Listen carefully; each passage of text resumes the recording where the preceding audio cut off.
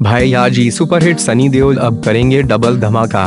Film अभिनेता सनी देओल पर्दे पर अब डबल रोल में नज़र आने वाले हैं। उनकी फ़िल्म भैया जी सुपरहिट में। इन दिनों अपनी फ़िल्म यमला पगला दीवाना फिर से को पूरा करने में जुटे सनी भैया जी सुपरहिट के माध्यम से फ़िल्मों में डबल रोल करने जा रहे हैं। गौरतलब है कि वे पहली बार इस फ़िल्म के माध्यम से डबल रोल करेंगे।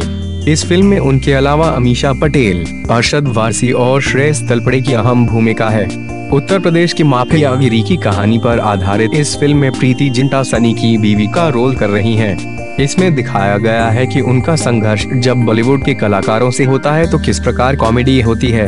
इस फ़िल्म को लेकर सनी देओल ने कहा फ़िल्म में मैं पहली बार डबल रोल करने जा रहा हूँ जिसे लेकर मैं बहुत उत्साहित हूँ।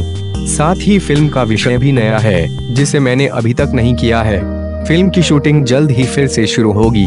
यह फ़िल्म एक कॉमेडी फ़िल्म होने के साथ साथ एक भावनात्मक ड्रामा भी होगी।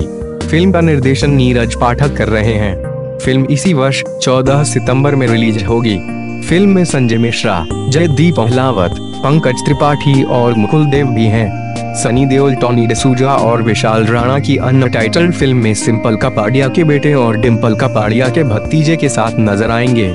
टॉनी डिसूजा ने खुद इस खबर पर मुहर लगाई है कि सनी इस फ़िल्म का हिस्सा होंगे।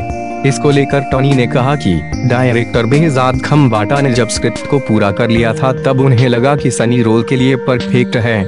बेहजाद सनी के बड़े फ़ैन हैं और उनकी फ़िल्मों को देखकर वो बड़े हुए हैं।